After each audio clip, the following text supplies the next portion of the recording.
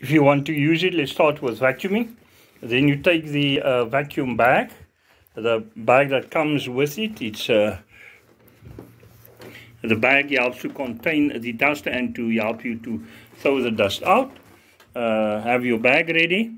Lift the clips up, and if you have the clips, remove the top. Take it out. You can simply put it on its head, and then uh, here is the front part of the uh, dust uh, cap. Then put it in here. You see to that it slides nicely over this uh, front here. First put it in. Let it uh, come right around here. It must be against the sides.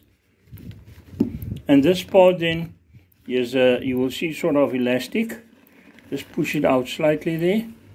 And then uh, just bring it so that it here is a, you will see here's a sort of a rim. Just press it slightly over that rim. Here is it. Slightly over that rim and against this part here. Okay, now that we inserted the bag, see that the bag is against the sides and then we simply close the lid.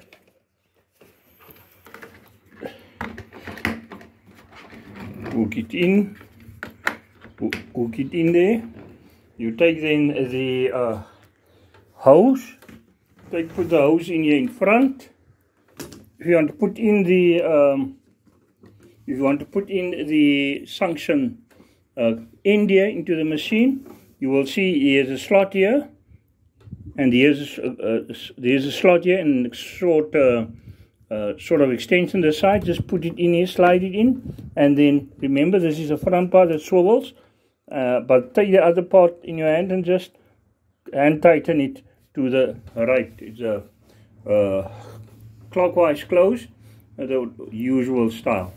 Then at the other end you will see the just you will see this nozzle is the, for the uh, power tool attachment that you have. You can just slide it in, press these uh, side, they are red pieces, to slide it in and it clicks out. And uh, likewise, you put it in, you just put it in there and it uh, clicks in. And then just, uh, you'll see there's also slots here. Just click it in and uh, then uh, put in the extensions whatever amount you need and uh, there you go. And if you want the front part um, for floors etc you can attach that there.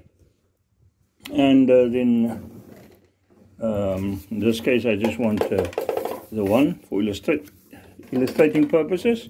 Put it in. I already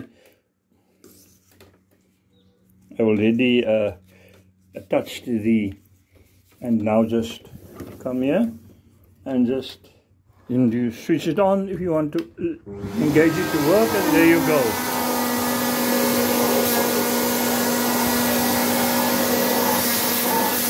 Quite noisy